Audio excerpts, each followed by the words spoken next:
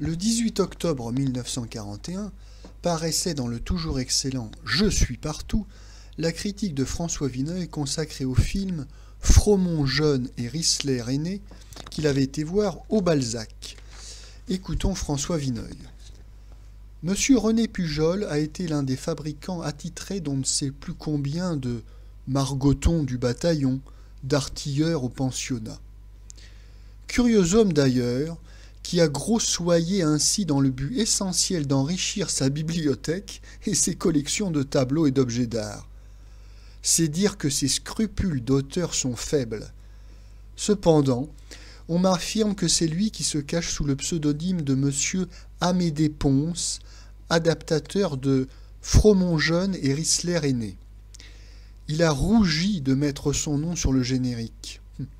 C'est dire aussi la qualité de ce film qui n'est certainement pas fait pour rehausser le prestige de notre cinéma. Le metteur en scène de Fromont jeune et Risler aîné est M. Léon Matteau.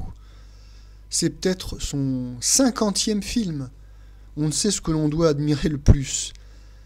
Qu'un homme à ce point dépourvu du savoir-faire le plus élémentaire puisse ainsi, depuis tant d'années, retrouver toujours la confiance et la faveur des producteurs, ou bien qu'un cinéaste, après tant et tant d'ouvrages, n'ait pas su réaliser le moindre progrès, apprendre les plus petits rudiments de son métier.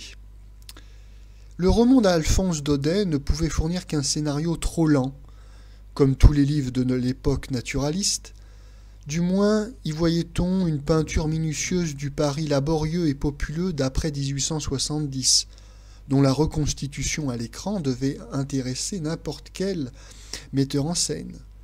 Mais M. Léon Matteau a négligé le seul intérêt cinématographique de son sujet et mis l'histoire de Fromont et de Risler aîné en costume contemporain, avec boîte de nuit, bal bourgeois et intérieur lévitant de luxe. Il ne reste plus que l'intrigue mélodramatique de Daudet. Elle, a été elle-même saccagée par messieurs Matteau et Ponce, racontée avec une lourdeur et une maladresse indicibles.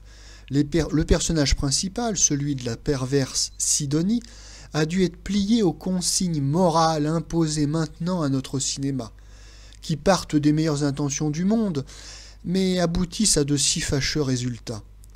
Sidonie se repent, et pour amener à se repentir, on a imaginé qu'elle n'avait jamais agi de son propre chef, qu'elle n'a été qu'un jouet entre les mains d'une diabolique conseillère. C'est psychologiquement d'une invraisemblance enfantine, et le film commence à la façon d'un sous-Georges honnête et se termine en sous-patronage. L'interprétation est digne du reste. Sauf Larquet et Georges Vitray, sauf Francine Bessy, charmante et naturelle, et qui seule de tous évoque Alphonse Daudet dans son personnage de la petite boiteuse romanesque. Les comédiens font assaut de médiocrité. Il n'est pas possible d'être plus mauvais que Jean Servet et Mireille Balin, qui n'ont jamais été fameux, que Bernard Lancret, qui avait eu cependant de bons rôles. Carrette est inutilisée. Marguerite Pierry l'est si mal qu'elle ne semble plus avoir le moindre talent et nous en étions tout à l'heure au chapitre des postiches, parlez-moi des perruques qu'on voit dans Fromont jeune et Risley aîné. Un trait suffirait d'ailleurs à prouver l'intelligence avec laquelle ce film a été conçu. Il y a dans le livre de Daudet, de Daudet un personnage presque légendaire et admirablement cinématographique, le fameux menton bleu de l'Aubel eh bien, messieurs Matteau et Ponce ne lui ont pas donné dix répliques. Leur film est peut-être conforme aux nouveaux canons moraux de l'écran, mais il est indécent par sottise.